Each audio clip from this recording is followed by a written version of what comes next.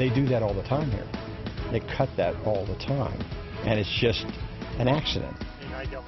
A 23-year-old young man killed today on the job. His lawnmower rolled over on him. He's a landscaper and was working in a subdivision in Hebron, Kentucky. Good evening. I'm Sheree Paolello. Thanks for joining us. I'm Mike Dardis. He was found pinned under his mower. WLWT News 5's Curtis Fuller spent the day in the neighborhood. This is the hillside here in the Thornwilde subdivision where a young man lost his life today. He was mowing this hillside. It's very difficult to walk up this hillside, let alone mow it. To be so young and and uh, to have a, uh, an accident, an unfortunate accident like that, it's a shame. The 23-year-old man was doing something he's done many times, but today something caused this Turf Tiger mower to roll over and land on top of him.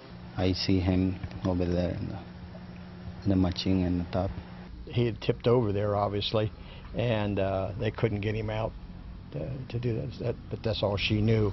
And when she came out, she saw them taking him away with a sheet, and uh, she broke down crying. The Turf Tiger mower weighs about 1,800 pounds. They are very popular.